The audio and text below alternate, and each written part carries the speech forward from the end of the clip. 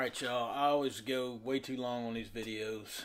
Um, so I'm going to try to keep this one short because I do have a very precise message that I want to send out, but it needs a little bit of uh, background, so I'll try to do that really quick.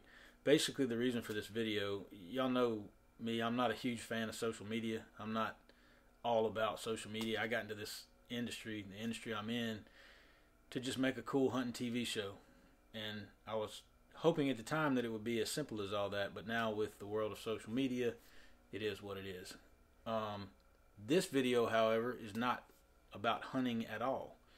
Um, I haven't been on social media, even what little I do get on social media, I haven't been on hardly at all for the last month as far as posting anything or doing much um, other than content that we already had created this season.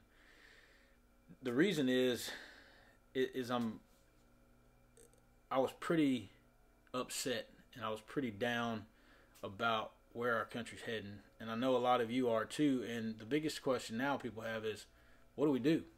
What's going to happen? What's going on? And there's so much bad fake news out there that it's hard to know what to believe.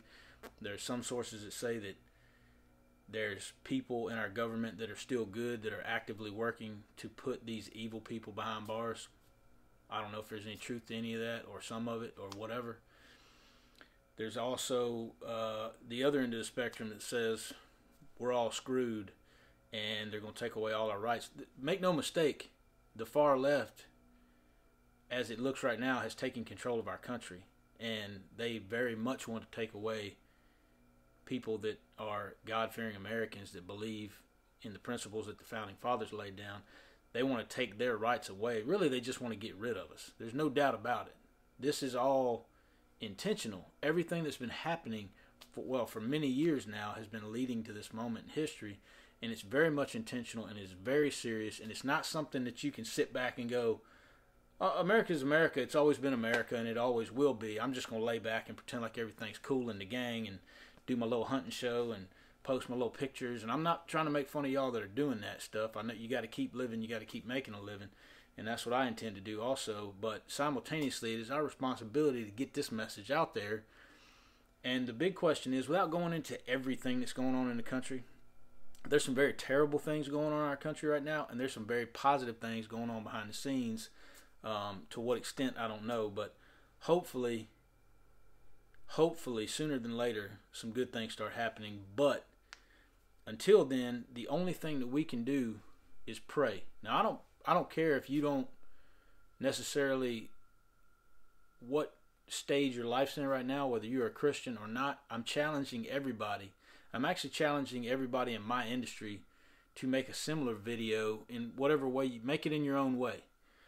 But encouraging people to pray to God, pray to our Creator and our Savior, the Lord Jesus Christ. Pray to Him right now. If you've never prayed in your life, get on your knees right now and pray for this country because it is slipping away. If you think all is lost and we don't have any other recourse, then you got nothing to lose. Hit your knees and pray to God. If you think everything's going to be all totally fine and we're going to get through this just fine, hit your knees and pray to God. We need to pray now more than ever in this country. Whether you believe in the power of prayer or not, I don't care if you don't. I'm just challenging you if you'll just, even if it feels silly, get down on your knees and truly seek God because right now we're reaping what we sow, America. For years we've been smacking God in the face and we've been putting other things as our God. We've been putting money as our God. You know, we've been putting all the any anything you can imagine in place of God. And we're we are now reaping what we sowed.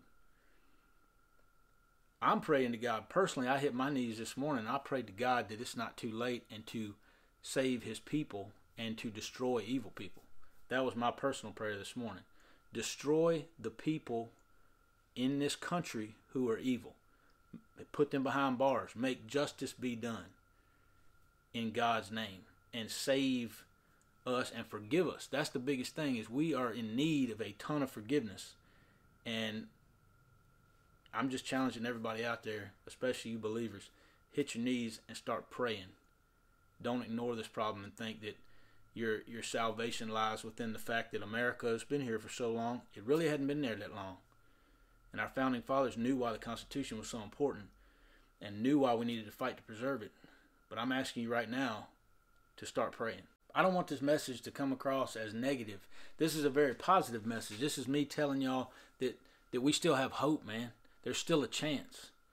We need to come together because it's going to be super difficult to go through what we're going to probably have to go through in the near future. And it's going to be impossible without God and without each other. So this is my challenge to y'all. Hit your knees and pray. I challenge everybody that has any kind of social media influence in the hunting industry, outside of the hunting industry, but especially in the hunting industry, um, because a lot of y'all are my really close friends. I know y'all can spread the word through your platforms.